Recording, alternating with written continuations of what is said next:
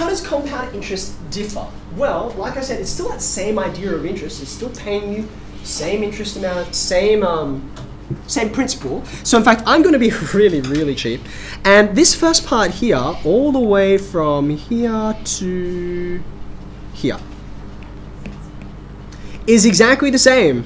Sorry, that was cheap and you can't do that. Okay? But I want you to see, right? Nothing has changed. If you have one year of simple interest and one year of compound interest, and it's compounding annually, nothing is different. They're still paying you 6%. It's still on 2400 At this point here, at the start of the second year, everything is still the same.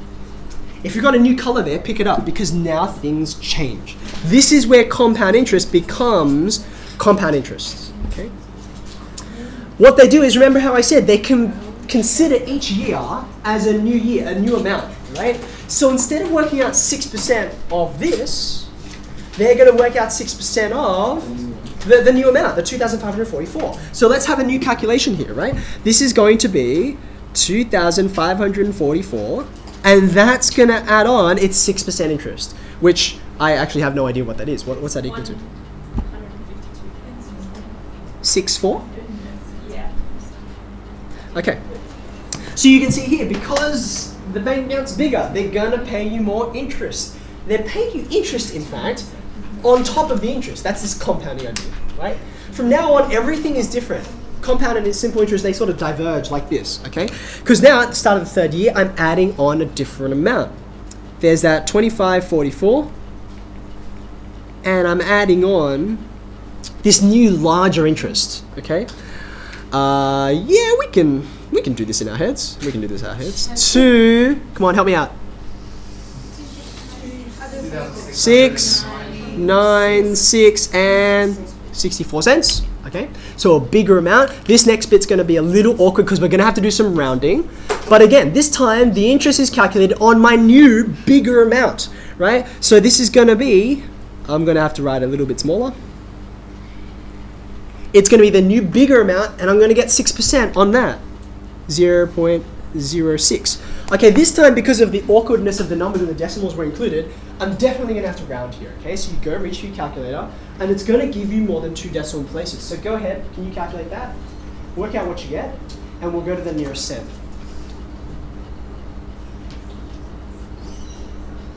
Someone got it? 161? Okay, since it's 0.798, it's clearly going to round up to 80, right?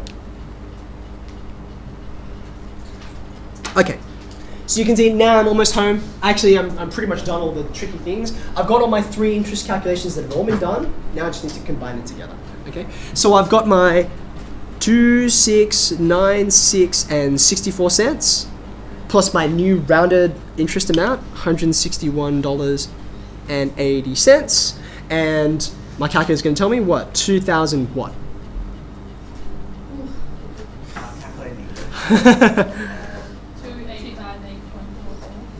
Thank you. There we go. Let's put that in the middle. All right, happy times. Now, the reason why I pointed out before in our simple interests problem, right, that there were two ways to do this is because before they were just as easy as each other. Like method one, method two, both the same. You could use either. But now that we get to this part, I think one of these methods is clearly better for this question now that I've done it by compound interest. Which do you think would be quicker? Yeah, yeah. Uh, the comparing the total balance to the. Yeah, doing the difference is clearly going to be easier because I'm comparing two numbers rather than adding this one and then this one and then this one. And of course, the more years, the more advantage I've got. Always be comparing the start and the end rather than adding up however many years of compound interest I've got. Okay, so my working is going to say two eight five eight and forty four cents. And this one you can do in your heads. What's the difference?